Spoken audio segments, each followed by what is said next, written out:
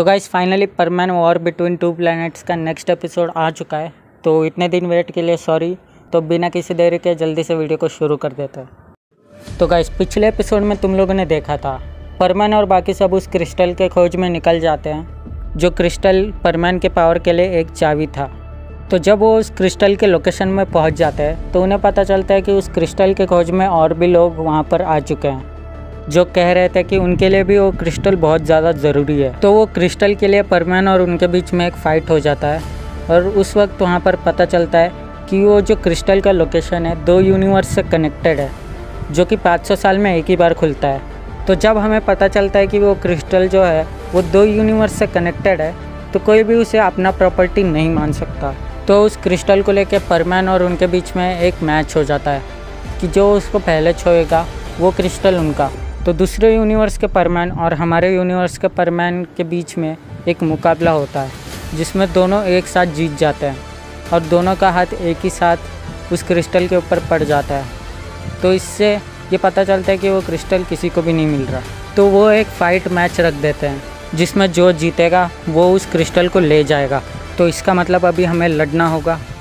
हाँ और कोई चारा भी नहीं है। तो अब आगे। क्या तुम तैयार हो? मैं हमेशा तैयार रहता हूँ। पर मैन, ये याद रखो कि ये तुम्हारा पहला हैंड टू हैंड काम है तो इसलिए ज़्यादा जल्दबाजी करने की कोई ज़रूरत नहीं है। आराम से लड़ो। तो दोनों के बीच में फ़ाइट शुरू होने ही वाला रहता है। तो उस वक्त सैन कहता है, ज़रा रुक जाओ। लगता है ये क्रिस्टल में कुछ गड़बड़ है। तो उसी वक्त सैन एक हीटर निकाल देता है और उस हीटर से उस क्रिस्टल को जलाने लग जाता है। और सारे इसे देख के बहुत ज़्यादा चौंक जाते हैं। और परमैन कहता है, अरे ये आप क्या कर रहे हैं? तुम्हारा दिमाग तो ठीक है, तुम उस क्रिस्टल को क्यों जला रहे हो? ज़रा इस क्रिस्टल को ध्यान से देखो, ये एक नकली क्रिस्टल है, ये वो क्रिस्टल नहीं है जिसके बारे में तुम सोच रही हो। अगर तुम परमैन के शक्तियों वाला क्रिस्टल जलाते हो तो वो इतने आसानी से नहीं जल सकता। और ये क्रिस्टल मेरे आग लगाते ही पूरे जल के राख हो गई। तो तुम कैसे कह सकते हो कि ये असली क्रिस्टल है? अगर इस क्रिस्टल में परमैन की शक्तियाँ हैं तो इस क्रिस्टल को इतने आसान जगह पे कोई नहीं रखेगा।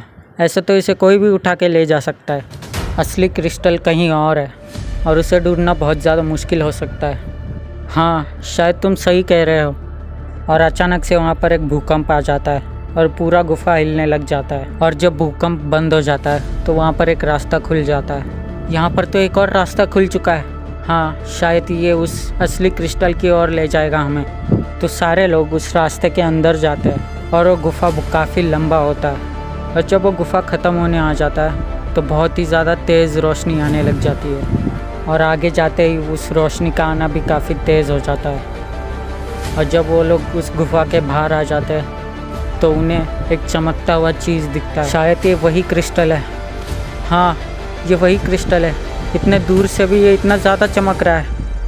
तो जैसे जैसे वो लोग उस क्रिस्टल की ओर बढ़ने लग जाते हैं तो बहुत ही ज़्यादा तेज़ हवाएँ आने लग जाती है।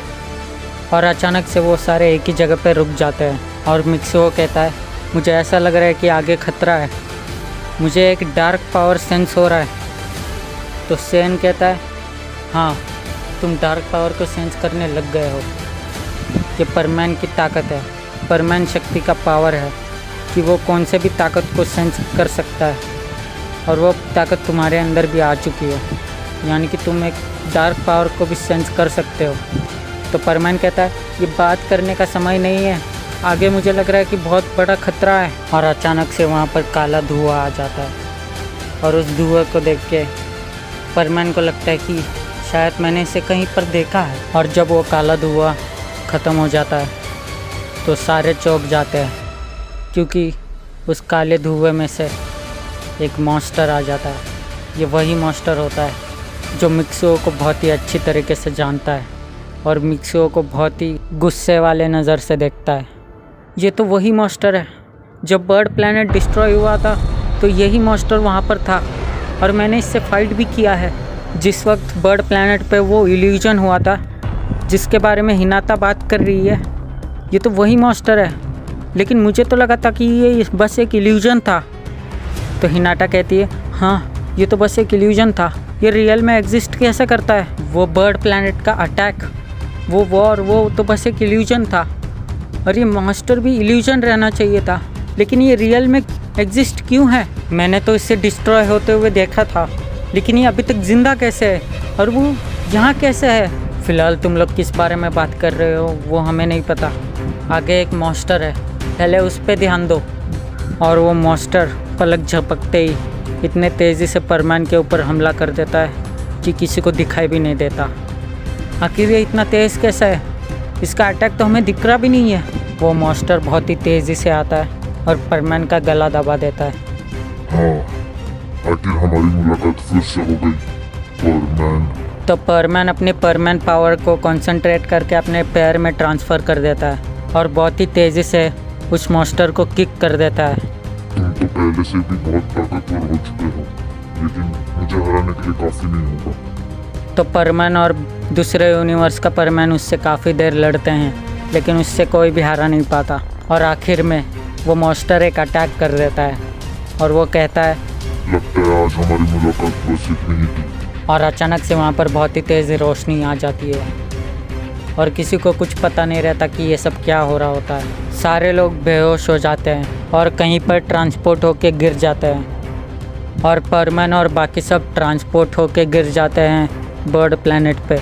और दूसरे यूनिवर्स से आए हुए लोग भी अपने यूनिवर्स में ट्रांसपोर्ट हो जाते हैं। और जब परमन और बाकी सब अपना आँख खोलते हैं तो वो अपने आप को बर्ड प्लानट पे देखते हैं। और परमैन कहता है, ये सब क्या हुआ? उसने हमें बर्ड प्लानट पे ट्रांसपोर्ट कैसे कर दिया? लगता है हम फिर से उस क्रिस्टल को लेने में फेल हो चुके हैं। ये सब मेरी गलती है। अगर मैं और ताकतवर होता तो मैं शायद उसे हरा देता। और इस वक्त हमारे पास वो क्रिस्टल भी हो चुका होता। ये सारी गलती अपने आप पर मत डालो पर मैन हमें नहीं पता था कि वो राक्षस इतना ताकतवर हो सकता है। अब छोड़ो उस क्रिस्टल को। मैं उस क्रिस्टल के बिना ही ताकतवर बनूँगा। मैं ये दिखा दूँगा कि किसी चीज़ के हेल्प से हम पावर को हासिल नहीं कर सकते। हम पावर को हमारे मेहनत से ही हासिल कर सकते हैं। तो सैन कहता है, क्या तुम ये कर सकते हो? बिना क्रिस्टल के मदद से तुम ये पावर हासिल कर सकते हो? तो परमान कहता है, मैं वो क्रिस्टल के बिना ही ताकतवर बनूँगा। तो गाइज़ ये एपिसोड यहीं पर ख़त्म होता है। और ये एपिसोड ये सीज़न का लास्ट एपिसोड था। अभी अगला एपिसोड सीज़न टू का आएगा, जो कि होने वाला है revolution of Perman season two, episode one. तो वो अगले वीडियो में आएगा। तो वीडियो पसंद आया हो तो लाइक कर देना। तो हम मिलेंगे इसके नेक्स्ट एपिसोड में। तब तक के लिए गुड बाय।